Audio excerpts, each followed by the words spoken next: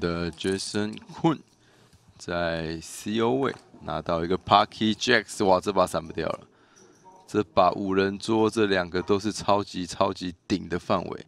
那我们的 Jason Quinn 只有三十五个盲注，三十五个大盲。这个盲注的三 B，Jason Quinn 很可能会直接四 B 选择 all in 了。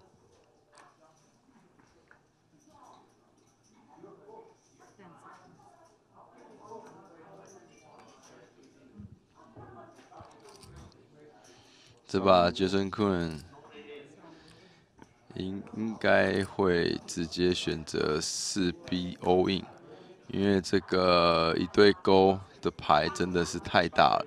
可是呃，我发现一件事情，Jason Kun 哈，在这种这种比较呃后期有影响的时候，有时候他的策略会选择比较小心，因为他在比较大筹码的时候，他会呃可能会试着用跟注的去打一些翻牌后。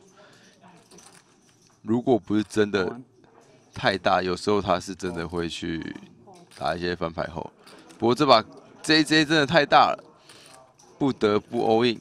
那这一把真的算是一个非常非常的哭了宿命的对决啊！KK 对勾勾。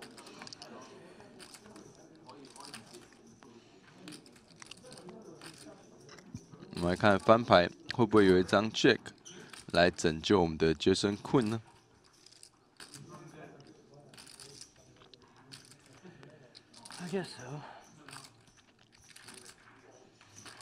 那这一把我们的 Kenny 也是比我们 Jason Quinn 的筹码还多。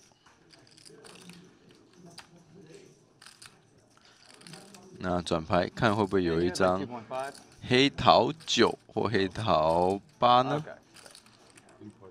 会让这一个变得更有意思。对。黑桃九会让这游戏更好玩。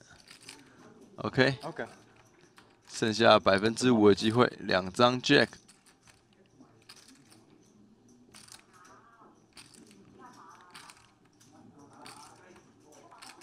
OK，没有击中。GG，我们的 Jason Quinn，我们的传奇扑克的签约牌手，同时也是 Party Poker 的签约牌手 Jason Quinn，在。这边很可惜的遇到一个无法散掉的牌，输给了我们的 Brian Kenny。